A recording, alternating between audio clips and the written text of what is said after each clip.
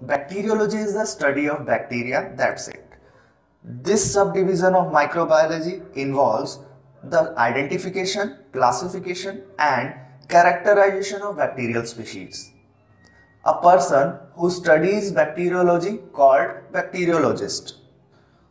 In bacteriology, the structure, function and growth of various bacteria have been discovered.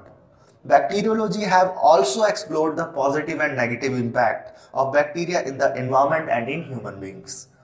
Another important scope of bacteriology is the identification of bacteria and the mechanism of how they bring about infection. This is an important aspect of bacteriology which leads to development of antibiotics or antibacterial drugs known to treat disease caused by bacteria. Different classes of bacteria have different requirement for growth. Some cannot survive extreme of temperature while other prefer very low or high temperatures. Many bacteria also differ in their oxygen needs and nutrition needs. Other ways to identify bacteria are though their appearance or shape, the substance they produce and though their chemical reaction when tested in the laboratory. For example, rod-shaped bacteria are called bacilli, while round-shaped bacteria are known as cocci. Bacteriology is the subcategory of microbiology.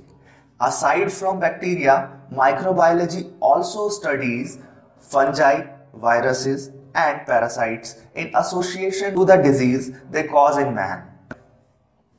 Patients suspected of having infectious diseases are often requested to submit samples such as blood, urine, sputum and feces for examination in the laboratory.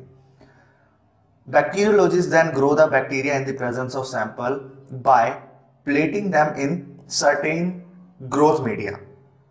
Strict and sterile procedures are usually observed in growing the bacteria and in order to isolate the bacteria causing the disease and to prevent the bacteria from spreading around the laboratory. Once bacteria are identified, a proper diagnosis can be done and patient can be given the right antibiotic for treatment.